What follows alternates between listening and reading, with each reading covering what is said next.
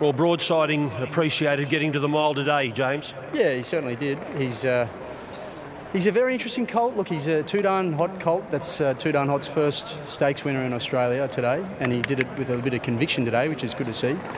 Amazing, you know. I remember a few years ago standing on Warren Hill, seeing Too Darn Hot in training with John Gosden himself, and. Uh, you know, you get a part of the bloodstock, and uh, and it's and it's great to have that horse on the roster at, uh, at Darley in Australia. And, it's a, it's a pretty promising start he's made with his first season crop. But, uh, but as for this horse, uh, he had absolutely no trouble eating up the mile, um, and uh, it should be no surprise to us. He's so nicely bred. Too Darn Hot himself won a Sussex stake, stakes at three. So um, yeah, I think this horse has got every everything that would be needed to see a horse step up and back up in the Champagne Stakes next week.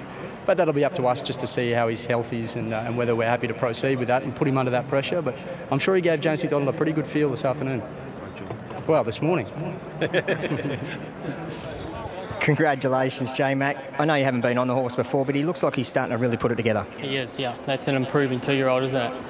He'll back up really well in a week's time. Um, real nuggety type of horse. Stronger the race, the better he'll go, and he's ticked that mile box he's a horse on the rise, so he's, he's coming in at that right time. He quickened well once he got a clear run. Yeah, he did. He he, he, um, he used good acceleration, but I think that race will even bring him on more. Well.